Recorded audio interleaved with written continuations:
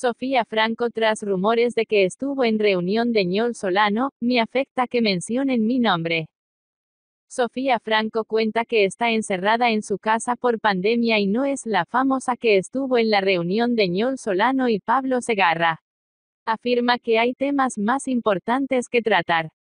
Sofía Franco dijo que le afecta que en redes sociales se mencione su nombre especulando que sería la famosa que estuvo en la reunión de Ñol Solano y Pablo Segarra, en La Molina, luego que Magali Medina dio algunas pistas.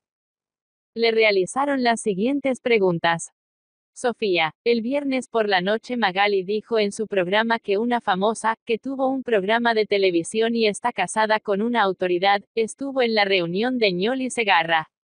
A raíz de ese comentario, en redes sociales se especuló que eras tú. Esta situación te mortifica. Respuesta de Sofía, te quería agradecer la pregunta. Como bien lo menciona tu diario, Magali pidió al final de su programa que no especulen.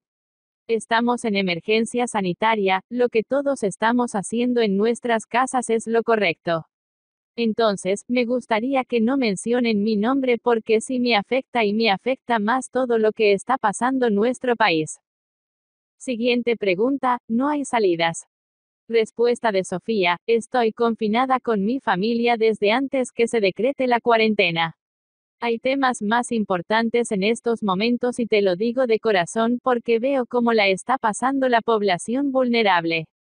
Agradezco tu comunicación y queda aclarado que no violé ninguna norma. Comentario de la periodista, la población está sufriendo. Respuesta de Sofía, sí. La verdad que me preocupa la situación de la gente y los casos de ayuda que llegan a mis manos. Ojalá pudiera ayudarlos a todos. Seguiré cumpliendo con las reglas como lo vengo haciendo. Comentario de la periodista, hay videos donde se te ve apoyando a tu esposo y llevando ayuda.